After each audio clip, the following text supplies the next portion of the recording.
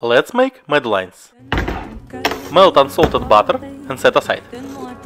In medium-sized bowl add eggs and sugar and just combine. Add pinch of salt, vanilla and lemon zest. Combine and add flour. Start mixing and little by little add butter. You should get something like that. Generously butter and flour a pan. Tap out any excess flour. Pull Madeleine butter into each indentation and bake 12 minutes at 375 degrees. Then let it cool and sprinkle with powdered sugar. Try it once and you will keep making it.